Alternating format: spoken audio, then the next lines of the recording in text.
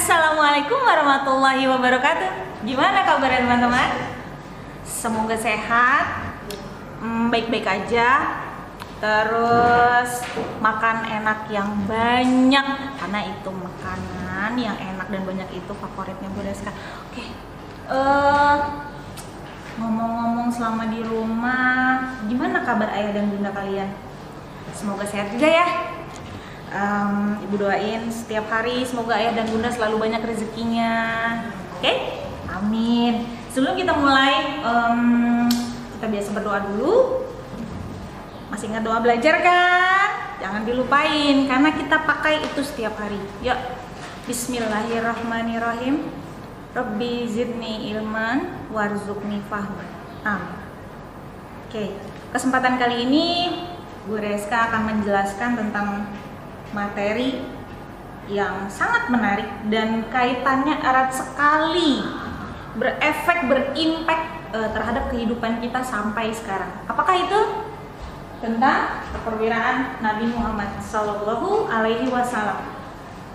Ya, tentang keperwiraan ini ditunjukkan melalui beberapa peristiwa perang, di antaranya perang Badar, perang Uhud, dan perang Khandaq.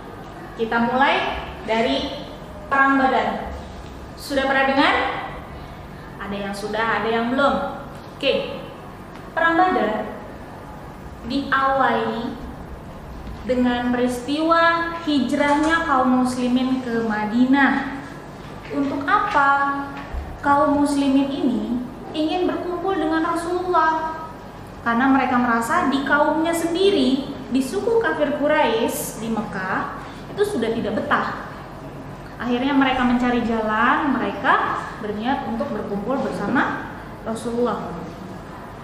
Nah, dengan berkumpulnya mereka pindah dari Mekah ke Madinah, maka rumah mereka yang ada di Mekah ditinggalkan, termasuk beberapa harta benda mereka di dalam rumah. Apa yang terjadi? Suku kafir Quraisy menjarah rumah-rumah kosong tadi, lalu mengumpulkan barangnya dan mereka menjual kembali barang jarahan itu. Tega ya. Nah, karena kaum muslimin sudah tahu yang terjadi seperti itu, kaum muslimin merasa kesal. Akhirnya, saudagar-saudagar Quraisy dijegat di tengah jalan. Pedagang-pedagang itu dijegat. Berita penjegatan oh, suku Quraisy oleh kaum muslimin yang sudah hijrah tadi sampai ke telinga si pemimpin Quraisy. Akhirnya apa? Quraisy marah, tidak terima diperlakukan seperti demikian. Akhirnya kafir Quraisy mengajak perang. Ya, kafir Quraisy mengajak perang.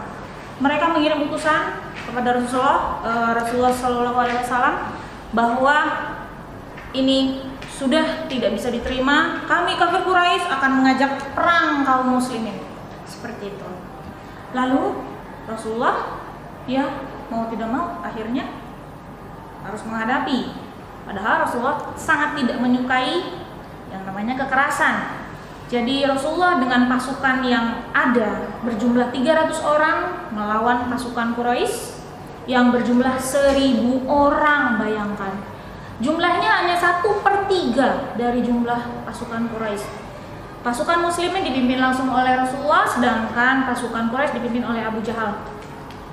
Peperangan terjadi amat sengit ini contoh ilustrasinya. Jadi pada saat itu ada pasukan berkuda, sangat sedikit sekali. Eh, lalu mereka menggunakan pedang yang ada, lalu ya tanpa alas kaki. Padahal kondisinya di gurun yang panas. Perang Badar ini terjadi di bulan Ramadan, 17 Ramadan tahun 3 Hijriah. Tapi dengan keyakinan kaum muslimin Akhirnya perang dapat dimenangkan walaupun dengan jumlah 300 orang saja. Apa imbasnya? Imbasnya adalah kaum muslimin mengalami kemenangan dan nama Islam harum sampai ke seluruh jazirah Arab. Subhanallah.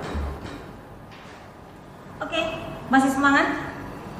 Kita lanjutkan ke periode perang Uhud.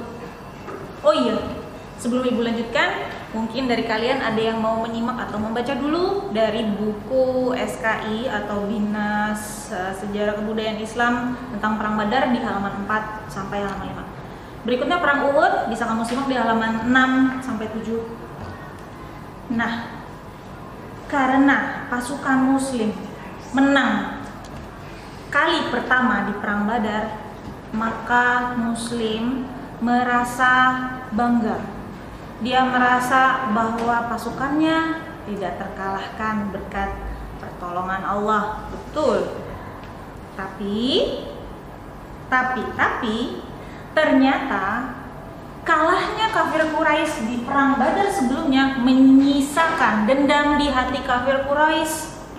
Kenapa? Karena mereka tidak merasa tidak terima 300 lawan 1000 yang 1000 kalah sedangkan yang 300 menang. Mereka dendam. Akhirnya mereka kembali mengajak perang kaum muslimin di wilayah Gunung Uhud. Nah, ini Jabal Uhud ilustrasinya. Jadi saat itu Nabi dengan pasukan yang jumlahnya jauh lebih banyak dari sebelumnya menyiapkan beberapa tempat. Yang pertama, Rasulullah menyiapkan 50 orang pemanah di atas gunung.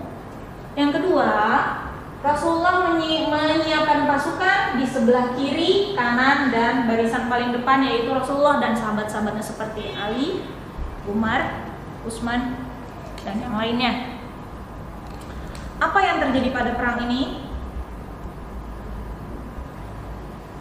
Keteguhan hati pasukan muslimin diuji ketika satu kejadian pasukan Nabi berjumlah seribu orang tapi tiba-tiba ada pengkhianat di antara mereka jadi 300 orang melarikan diri sementara Rasulullah disisakan hanya 700 kaum muslimin yang harus melawan 3000 pasukan Quraisy. Ah, Quraisy datang dengan uh, amunisi lengkap dengan pasukan yang jauh lebih banyak daripada sebelumnya.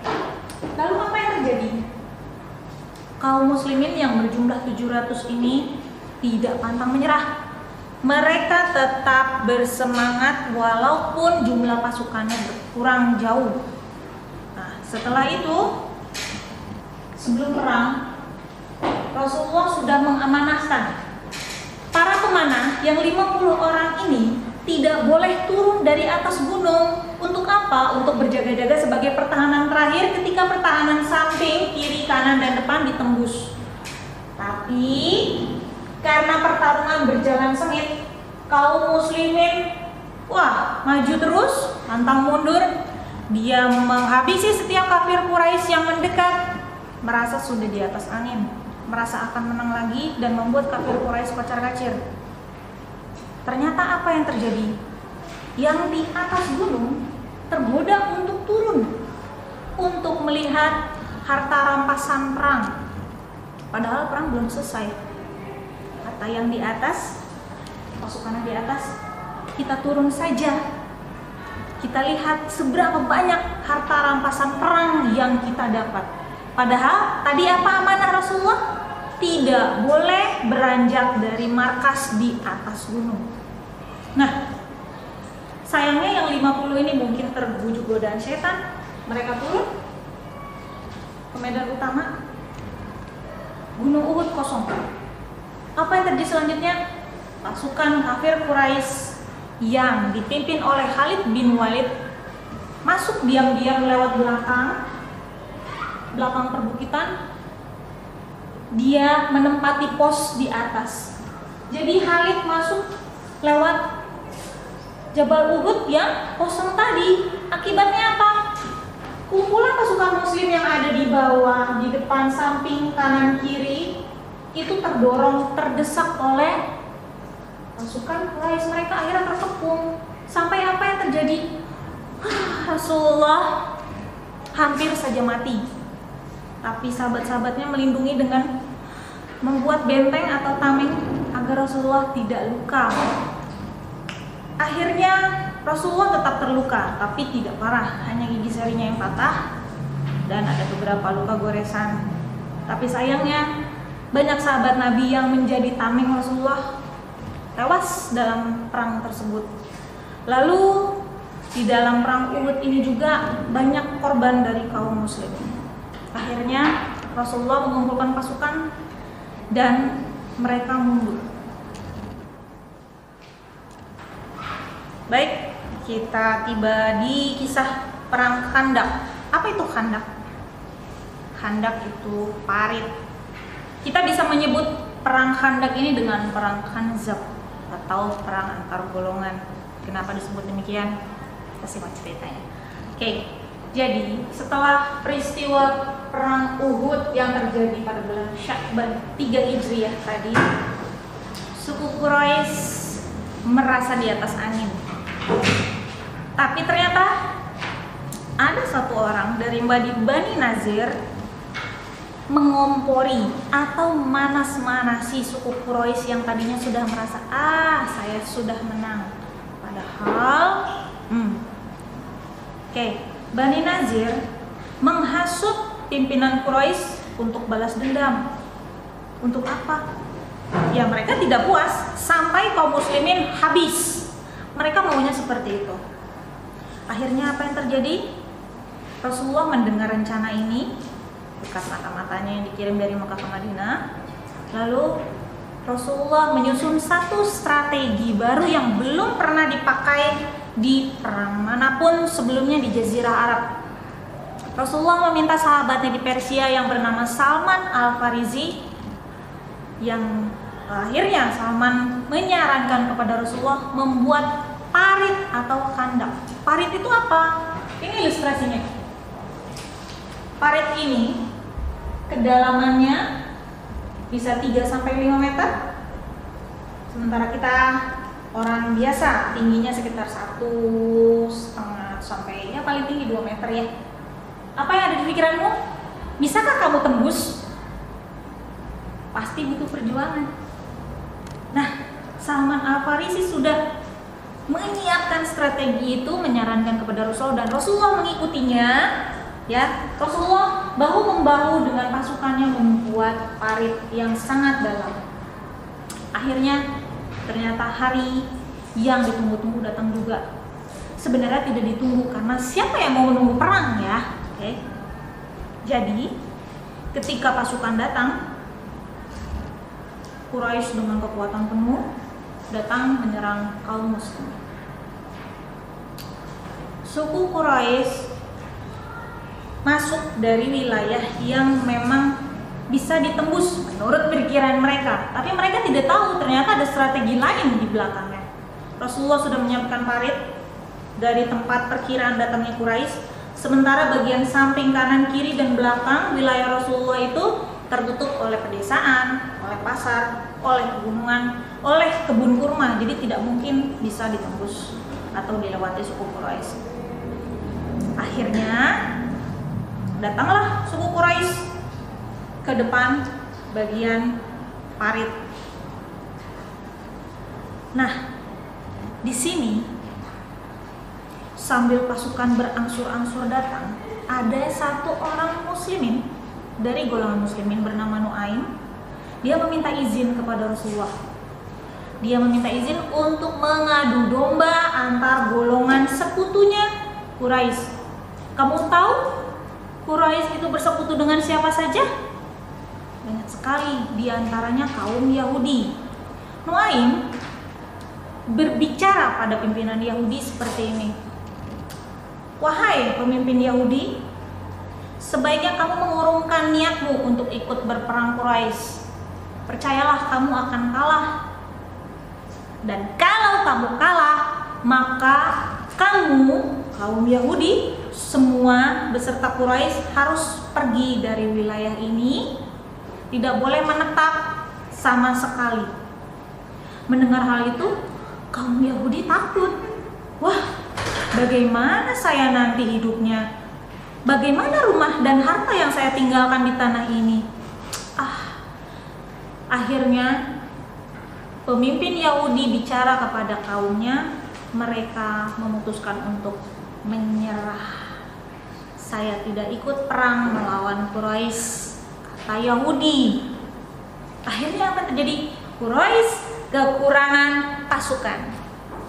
Bahkan nah, celah ini juga dimanfaatkan oleh kaum muslimin untuk berjaga di sepanjang parit. Ketika hari peperangan tiba pasukan wah gencar sekali mereka coba melewati masuk terus ke parit masuk terus ke parit tapi tidak ada yang pernah sampai ke seberang parit. Kenapa? Karena di sini ketika mau naik saja sudah dihadang oleh pasukan muslimin tidak ada yang berhasil. Akhirnya kafir Quraisy memutuskan untuk istirahat dulu. Mereka membuat tenda di depan parit di lingkungan di depan parit. Ya tendanya mereka menunggu kapan saat yang lengah tapi lagi-lagi pertolongan Allah datang untuk kaum muslimin. Tenda kafir Quraisy dihantam dengan hujan angin yang sangat besar. Allah alam, hanya Allah yang bisa membuatnya. Akhirnya tenda-tenda itu porak-poranda, perbekalan habis, berantakan semua persiapan Quraisy. Akhirnya Quraisy tidak jadi maju berperang. Kaum muslimin menang tanpa berperang. Hebat kan? Allahu Akbar. Eh, kembali. Ngapain bu? Saya mau menghadang kafir Quraisy, Pak. Kafir Quraisy kan enggak ada bu. Oh iya, lupa. Maaf. Ibu ngapain lagi bu? Saya mau berjuang, Pak. Tapi caranya gini aja. Menurut kamu, perjuangan yang relevan atau yang berhubungan dengan kondisi kita sekarang apa saja? Dari sifat keperwiraan Rasulullah ada tiga contoh utama atau tiga sifat utama yang bisa kita ikuti atau turuti. Yang pertama, Rasulullah itu orang yang berani. Rasulullah pantang menyerah. Dia tidak takut walaupun jumlah pasukannya kalah jauh. Duh, miring ya, nggak apa-apa lah ya. Rasulullah nggak pernah takut, walaupun pasukannya kalah jauh. Yang kedua, Rasulullah adalah seorang pemimpin yang melindungi umatnya. Kenapa? Karena Rasulullah selalu mengutamakan jalan perdamaian lebih dulu. Rasulullah menyukai ketika kita atau ada e, pasukan musuh yang mengajak berdiplomasi atau berdiskusi ya. Jadi dicari win-win solution. Bagaimana nih jalan keluar yang baik agar tidak banyak korban berjatuhan? Yang ketiga Rasulullah adalah ahli siasat perang. Rasulullah orang yang sangat cerdas. Ketika Rasulullah belum menemukan siasat yang tepat maka dia atau beliau tidak segan untuk meminta sahabatnya ya membantu pikiran Rasulullah membuat strategi perang yang baru. Nah, menurut kamu sifat apa saja lagi yang boleh atau wajib kita gunakan dalam kehidupan sehari-hari sebagai pelajar? Tentu saja soal prajurit ya itulah. Oke, mungkin yang pertama sebagai pelajar kamu harus tetap pantang menyerah ketika mengalami kesulitan. Jangan hanya karena soalnya susah lantas ah ya sudah tinggalkan saja. Tidak bisa seperti itu. Kalau kamu tidak menghadapinya, maka kamu belum bisa menjadi seseorang yang berkualitas baik dalam pribadinya. Yang kedua, misalnya disiplin. Tadi kita mendengar tentang perang Uhud. Ada 50 orang di atas sudah diamanahi tapi tidak nurut atau tidak patuh terhadap amanah Rasulullah. Apa yang terjadi? Celaka semua. Ketika kamu tidak disiplin, maka imbasnya bukan hanya untuk diri kamu sendiri tapi untuk orang lain juga. Ya. Jadi berhati-hati, latihlah disiplinmu jauh lebih baik setiap hari mulai dari detik ini. Yang ketiga misalnya ikhlas Apakah belajar menuntut bayaran? Tentu tidak, bukan? Kamu mau belajar, ya, untuk menambah ilmu kamu. Karena apa? Allah akan meninggikan derajat orang-orang yang berilmu. Jadi, ikhlas dalam niat kamu untuk belajar akan membuat ilmu atau hidayah mudah masuk ke dalam pikiranmu. Oke? Pasti banyak pesan moral yang bisa dicontoh dari Rasulullah.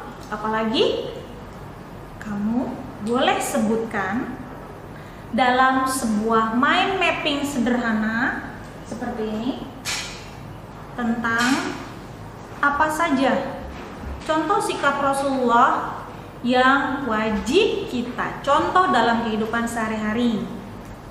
Selain itu, kamu boleh mengerjakan evaluasi di halaman 13 sampai 15. Oke? Sekian dulu dari Ibu. Terima kasih untuk perhatiannya. Assalamualaikum warahmatullahi wabarakatuh.